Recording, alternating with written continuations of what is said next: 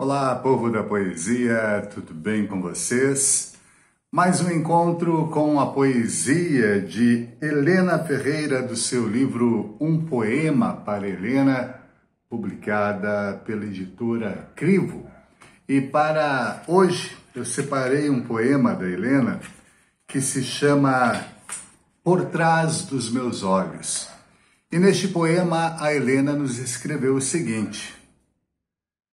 Meu olhar distraído enxerga muito além de quem vive observando descaradamente as coisas gigantescas da vida. Fixo o olhar numa estrela e seu brilho ilumina minha alma.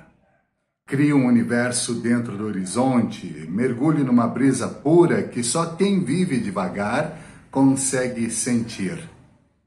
Já tive pressa, já tive ódio mas consegui me recompor. Voltei às origens da terra, resgatei o amor, fiz as pazes com o perdão e me apaixonei por cada amanhecer.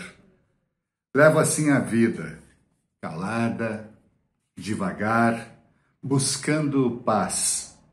Trago no olhar visões, lembranças, sonhos, esperança, muita esperança de que todos também possam, algum dia, retornar ao início, voltar às origens do amor.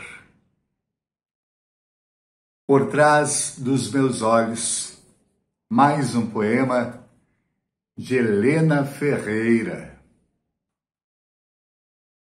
Vale a pena ler.